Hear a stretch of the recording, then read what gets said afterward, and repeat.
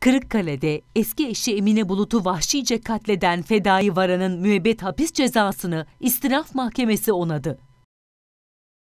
Kızlarını kaybeden Bulut ailesi, avukatları aracılığıyla cinayetin canavarca hisle ve tasarlayarak işlendiği gerekçesiyle Yargıtay'a temyiz başvurusu yaptı.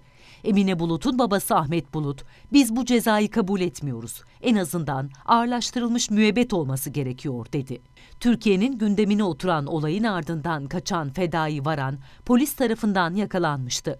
Çıkarıldığı mahkemece tutuklanan Varan, kasten öldürme suçundan müebbet hapis cezasına çarptırıldı. Mahkeme, sanığın cinayeti daha önceden planladığı ve acı çektirerek işlediğine dair yeterli delil bulunmadığı gerekçesiyle verdiği cezada indirim uygulamadı.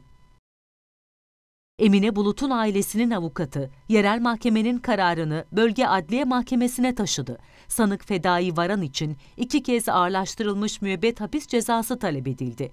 Bölge Adliye Mahkemesi bir buçuk yıl süren incelemenin ardından yerel mahkemenin verdiği kararı onadı. Cani adam hakkında ağırlaştırılmış müebbet hapis cezası verilmesi için Yargıtay'a temiz başvurusu yapıldı. Şimdi Emine Bulut'un ailesi Yargıtay'dan gelecek kararı bekliyor.